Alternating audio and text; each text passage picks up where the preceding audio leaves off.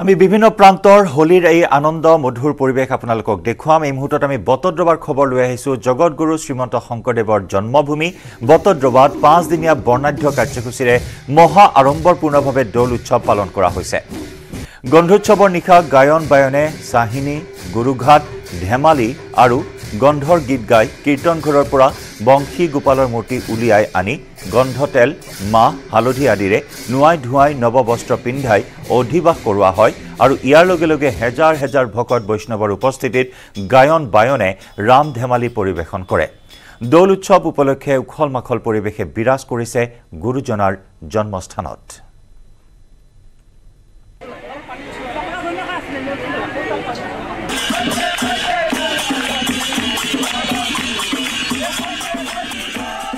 সমগ্ৰ ৰাজ্যৰ লগতে মঙলদৈতো দৌল উৎসৱৰ ব্যাপক আয়োজন। মঙলদৈ চহৰৰ বেগামুখৰ ৰাজহুৱা মন্দিৰৰ সন্মুখত পালন কৰা হৈছে দৌল উৎসৱ।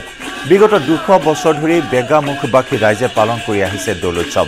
আবিৰৰ ৰঙত ৰঙীন হৈ পৰিছে সকলো। দুবছৰৰ পিছত ফাকুৱাৰ আনন্দ উপভোগ কৰিবলৈ পাই সুখী হৈছে মঙলদৈৰ বেগামুখবাসী ৰাইজ। ফাকুৱাৰ গীত গাই শোভাযাত্ৰা কৰি বেগামুখবাসীয়ে উদযাপন কৰিছে দৌল উৎসৱ। দুদিনীয়া কাৰ্যসূচীৰে পালন কৰা হয় ফল্গোৎসৱ।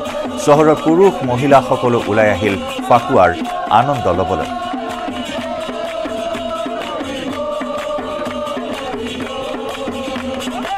আমি আগবঢ়াইছো মঙলদৈৰ পৰা আমাৰ সাংবাদিক নৱজ্যোতি মহন্তই যুগুত কৰা ৰিপৰ্ট।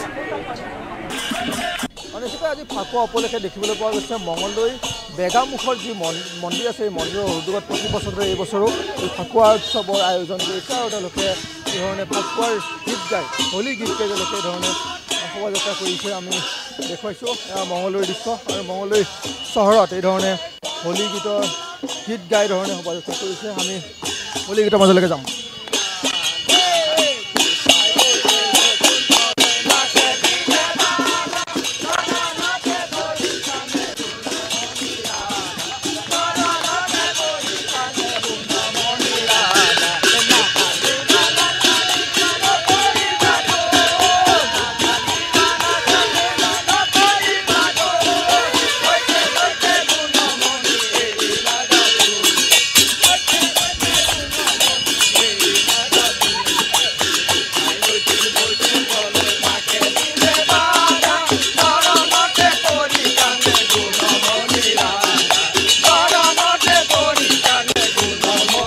কথা পাতিম।